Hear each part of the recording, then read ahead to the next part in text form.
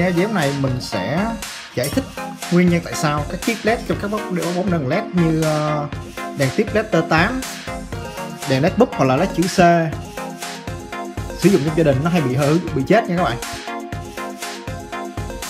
Cái cái cách giấu cái dấu hiệu nhận biết của đèn led bị chết, các bạn nhìn ngay chính giữa, nó sẽ có một vết đen.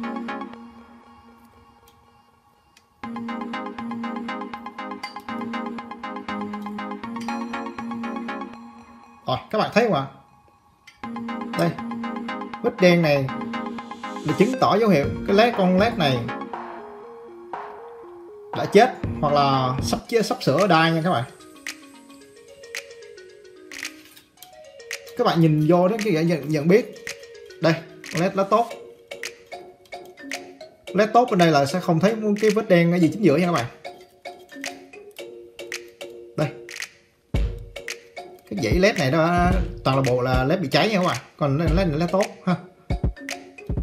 Chính giữa là không không có vết vết đen. Cái nguyên nhân chính, nguyên nhân hàng đầu là chính là cái nguyên nhân thứ nhất. Một trong bốn nguyên nhân mà mình đã liệt kê. Đó chính là, thứ nhất tức là chất lượng của chip led.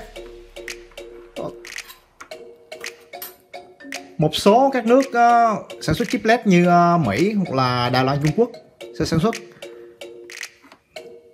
Ví dụ như con chip led đây là chip led Samsung nha các bạn.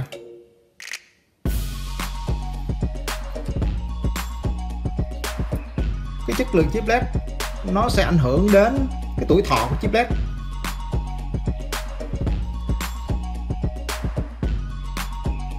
Đây chip led Samsung nha các bạn.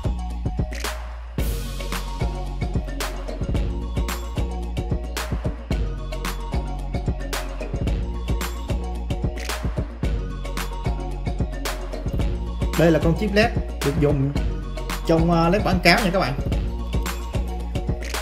Nó được thiết kế, tất cả con led này sẽ có một con điện trở hạn dòng và chất lượng chip led cực kỳ tốt so với à, các chip led dùng trong các đèn led mà à, gia đình chúng ta hay sử dụng.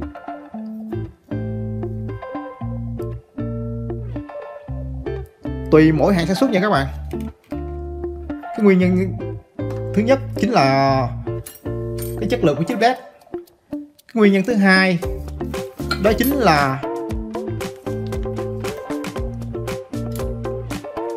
ảnh hưởng của các nhiễu điện từ từ các thiết bị điện. Ở các uh, mạch nguồn như mạch nguồn uh, máy vi tính hoặc mà TV LCD sẽ có một cái mạch lọc nhiễu EMI đó là mạch lọc nhiễu điện từ nha các bạn. Cái mạch lọc nhiễu từ nguồn 220V AC nó sẽ giúp cho lọc nhiễu điện từ các thiết bị khác và giúp cho các mạch hoạt động. À, trong khi chúng ta hoạt động mà thì à, các thiết bị điện tử hoạt động xung quanh sẽ à, sẽ phát sinh ra sóng điện từ làm ảnh hưởng đến cái đến cái đường truyền và nó đi vô chính cái cái cái nguồn AC cho mình ha cái nguồn AC mà cấp nguồn cho led driver này. Vì vì thế tất cả các thiết bị uh, điện tử cao cấp thì người ta thì trước đó người ta sẽ dùng mạch lọc nhiễu. EMI sẽ bên trong cái mạch lọc nhiễu nó sẽ có cuộn cảm tất nhiên là cuộn dây cuộn dây và một số tụ điện. À, để lọc nhiễu cái ngăn không cho các uh, tín hiệu uh, tần số cao đi qua làm hạn chế ảnh hưởng là giúp cho các các mạch à, mạch à, điện tử bên trong sẽ hoạt động ổn định hơn nha các bạn. Cái nguyên nhân thứ ba mà chúng ta hay nói đến làm cho chip led hư chính là cái bo nguồn led driver. Led driver này giống như là một power supply, ý nghĩa ý là cái mạch cấp nguồn cho tất cả các chip led hoạt động. Cái mạch nguồn này hoạt động không ổn định. Như ờ, dòng điện tăng cao, lên xuống hoặc là điện áp không ổn định sẽ làm ảnh hưởng đến chip led. Làm chip led rất dễ chết nha các bạn.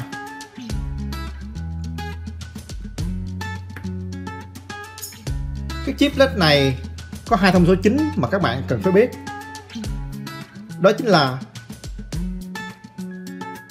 điện áp hoạt động điện áp của cho led hoạt động. Nó tầm từ à, 2V đến 5V DC nha các bạn. Từ 2 5V như uh, 2V là cái led có thể sáng rồi 5V có thể sáng sáng sáng rực hơn rõ hơn nữa.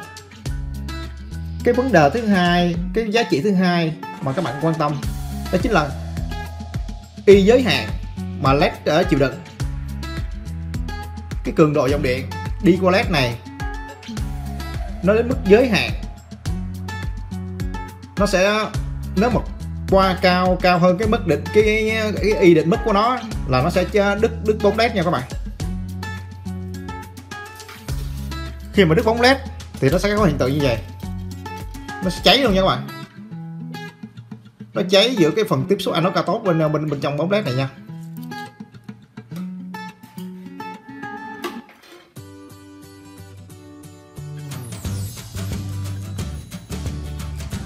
Như vậy cái nguyên nhân chính thứ ba mà chúng ta nói đến,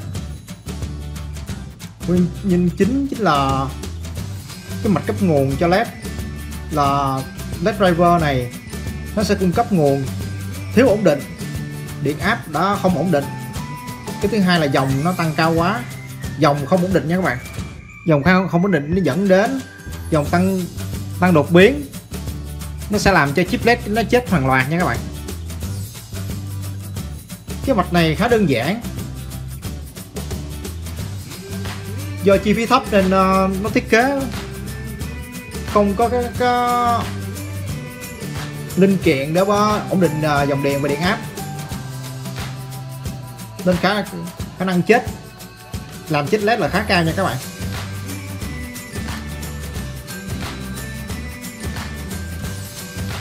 Với lại cái tất tất nhiên là cái điện lưới của mình cũng không ổn định nha các bạn à, lúc mà xài à, sử dụng ờ, điện trong gia đình sử dụng thiết nhiều thiết bị á à, nhiều thì à, sụp áp sẽ, sẽ, sẽ giảm xuống khoảng tầm à, 198V AC đến 200V AC nha các bạn.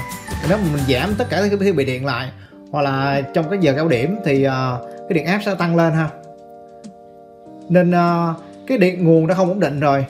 Rồi còn các cái mạch mạch uh, led driver này không có các thiết bị à, ổn định ờ, dòng điện và điện áp nên dạ, nên làm cho các ờ, chip led hay bị chết nha các bạn.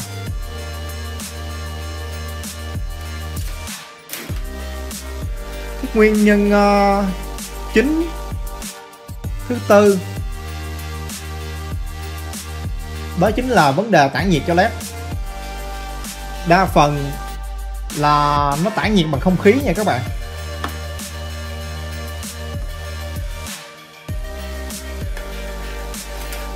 Các đèn.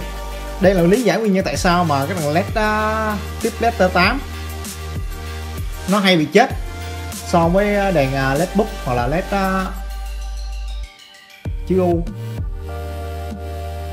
Bên trong đầu đèn led cái này hoàn toàn kính nha các bạn. Ống thủy tinh hoàn toàn kính. Đây. Bên trong đầu này nó sẽ có một lớp silicon. Silicon màu trắng sữa. Để dán kính vô không khí không thể thoát ra được. Và đầu đèn đầu đèn này sẽ có các lỗ nhỏ rất rất nhỏ. Không khí nó không lo. Khi mà bóng đèn này hoạt động nhiều nó sẽ phát sinh ra nhiệt.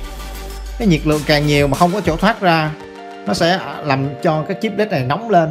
Nóng là giảm đến tuổi thọ. Ảnh hưởng dễ, dễ rất dễ hay bị đứt cho các bạn mặt khác. Trong các thanh thanh tiếp led như đèn led T8 này. Nó chỉ là thanh led bình thường ha. Không có cái lớp tản nhiệt. Còn ở một số led như ờ, bên ờ, đặc biệt là led bút nè. Đến mở ra cho các bạn xem.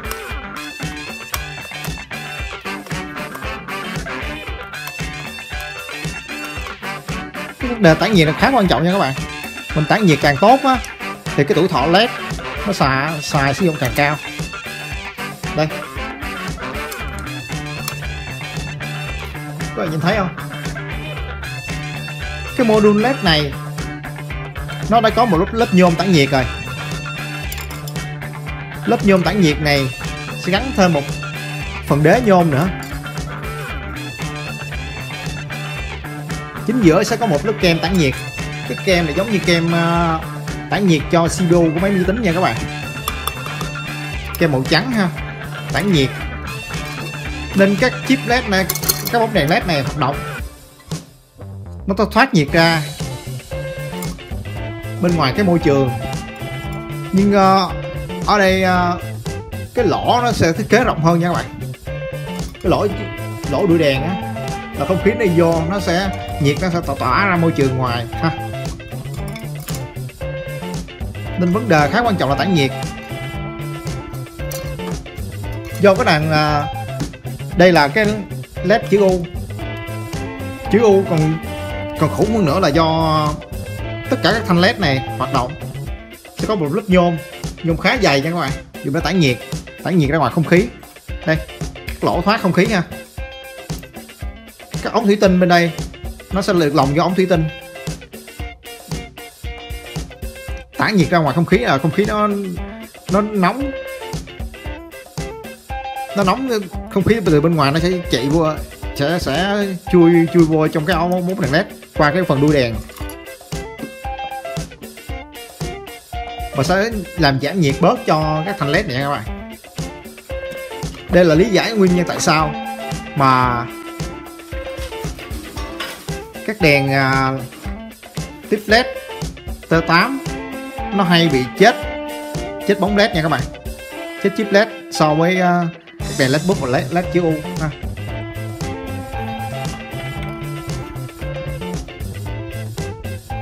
Như vậy trên đây mình đã liệt kê ra bốn nguyên nhân chính làm các chip led trong các đèn led sử dụng trong gia đình hay bị chết nha các bạn. Nó chết dẫn đến hư bóng. Ở đây ờ, một số hãng sản xuất người ta sẽ chế tạo. Thứ nhất để hạn chế là hạn chế khắc phục được cái ổn định dòng. Ổn định dòng điện cho led là lúc nào cũng ổn định, là đó là cái điện trở hạn dòng.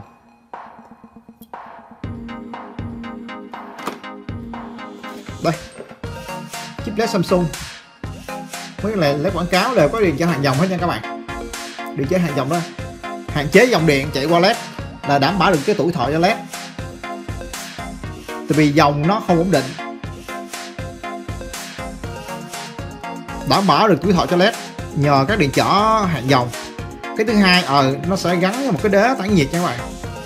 Cái tản nhiệt, nó thoát nhiệt cho led làm led không bị nóng, dẫn đến ờ, dẫn đến tuổi thọ của led sẽ khá cao so với cái chip led bình thường nha các bạn.